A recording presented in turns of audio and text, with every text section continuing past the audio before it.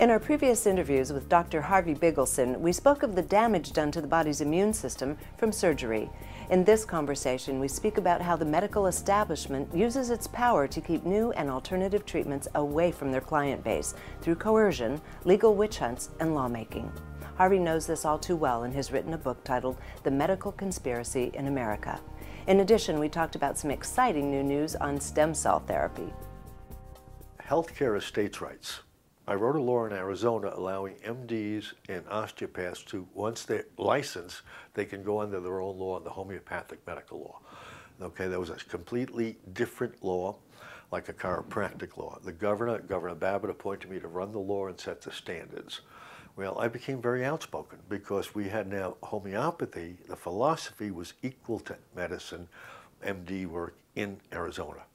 Well, I got on TV shows, I got on radio shows, and the next thing I knew, all of a sudden my, I had patients calling me that uh, Medicare was calling them and they wanted to know about me and stuff like that.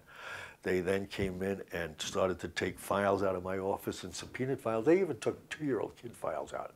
Two-year-old children? Yeah, I said, you have no right to do that. It made no difference. They just smiled at me in their trench coats carrying my boxes out. And so they were doing this because they were trying to catch you on any kind of irregularity, including illegible handwriting? A anything. Or they, if a patient complained, they said, oh, he charged me too much for an office visit, well, they, they would take that? They ended up indicting me on 117 counts of Medicare fraud, totaling $3,500 after three years. Now, my business at that time, I had eight practitioners, 20 staff. My business did over a couple million dollars gross okay, with all the practitioners. So that was a lot of activity. Right. And they found $3,500 in Medicare fraud, they said.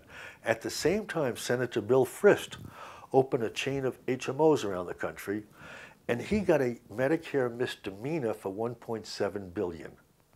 And yours was not a misdemeanor. No, mine mine was a fraud. Mine was Is that a felony? a felony.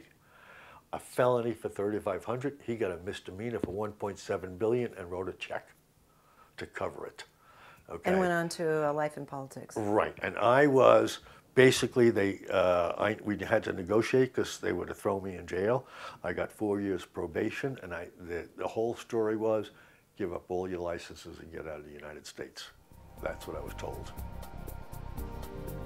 Harvey brings firsthand info as to the medical conspiracy, as his life was nearly ruined by the AMA and other organizations. For the full length interview, go to cmn.tv.